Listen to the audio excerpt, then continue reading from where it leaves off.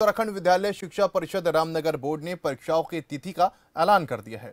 16 मार्च से 6 अप्रैल तक दसवीं और बारहवीं की परीक्षाएँ चलेंगी। परीक्षाओं को लेकर शिक्षा विभाग ने तैयारियाँ भी शुरू कर दी हैं।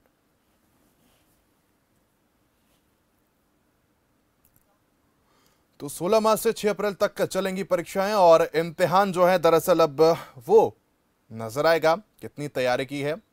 बच्चों की अगर बात करते हैं तो उनमें भी उत्साह है, क्योंकि साल भर की यहाँ पर परीक्षा होती है और इसी को लेकर बच्चों की तरफ़ से तमाम तैयारियाँ की जाती है। फ़िलहाल 16 मार्च से छह अप्रैल तक दसवीं और बारहवीं की परीक्षाएँ चलेंगी।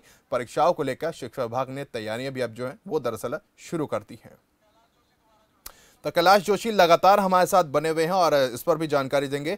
कैलाश जी, इम्तिहान की गड़ी खत्म होती हुई नज़र आ रही है, क्योंकि तारीखों का ऐलान हो गया है।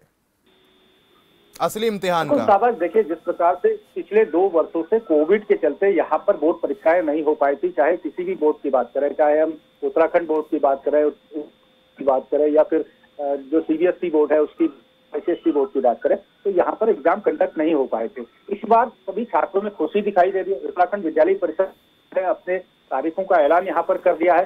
पूरी जो एग्ज़ाम होने हैं, उसके लिए शिक्षा विभाग बिल्कुल पूरी तरीके से कमर कस चुका है, पूरी तैयारियाँ उनके द्वारा और जो एग्ज़ाम है, वो 6 अप्रैल से 6 अप्रैल से शुरू होंगे, दसवीं और बारहवीं के बोर्ड यहाँ पर होने, उसको लेकर पूरी तैयारियाँ शिक्षा विभाग के द्वारा यहाँ पर अब इंतज़ार है कि समय जैसे जैसे नज़दीक आएगा, एग्जामों की और तैयारियाँ शिक्षा विभाग के द्वारा कर ली जाएगी। हालाँकि छात्रों की बात करें तो छात्रों में काफ़ी खुशी देखने को मिल रही है, और छात्र है, वो एग्ज़ाम देने के लिए तैयार दिख रहे हैं। ठीक है, और कैलाश, ऐसे में बहुत महत्वपूर्ण हो जाता है यहाँ पर इन चीज़ों पर भी काम किया जाए, इन पर भी यहाँ पर जाँच की जाए, और सतर्क सबसे महत्वपूर्ण ये है कि सतर्क रहा जाए, क्योंकि अभी हाल ही में पूर्व में जो हमने मामले देखे, लगातार पेपर लीक को लेकर कहीं ना कहीं मुश्किल आती हुई नज़र आती हैं, उसको लेकर कहीं ना कहीं मुश्किल ये भी बढ़ जाती है, सरकार उससे घिरती हुई भी नज़र आती है तो इन चीज़ों को लेकर भी सतर्क रहना है, कहीं ना कहीं एक चुनौती माना जाए सरकार के लिए।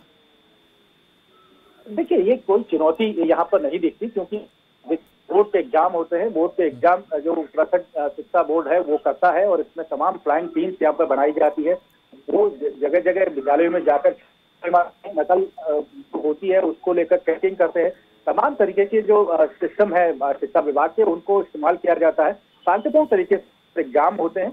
हम्म। समझता हूँ कि शायद जो दो साल से कोविड चल रहा था कोविड के बाद जो अब एग्ज़ाम पहली बार कंडक्ट हो रहे हैं तो इसमें छात्रों के बीच भी काफ़ी अच्छी रुचि है। बच्चों ने पढ़ा भी बहुत कुछ। जब एग्ज़ाम होंगे तो उस वक्त ये दिखाई देगा कि दो साल के बीच जो बच्चों की पढ़ाई है वो कैसी रही। और अब ये जो दो साल के बाद एग्ज़ाम हो रहे हैं इसको लेकर हमें काफ़ी खुशी यहाँ पर दिखाई दे रही है। ठीक है कैलाश बहुत बहुत शुक्रिया हमारे साथ जुड़ने के लिए और तमाम जानकारी साझा करने के लिए।